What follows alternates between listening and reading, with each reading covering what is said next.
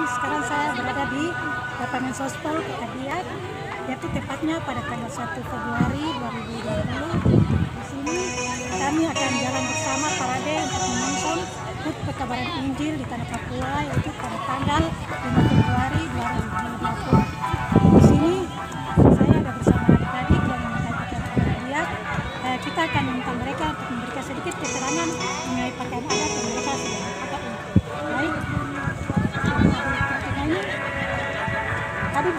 ini terbuat dari celikai di sini cawan. Ini dari burung. kalau ini namanya apa? Ini penangkis kalau bahasa dia disebut ebere. Terus kalau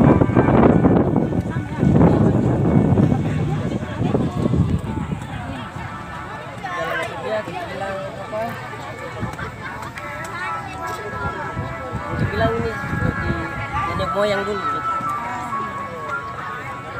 Kayak di sini mungkin adik bilang ada mungkin apa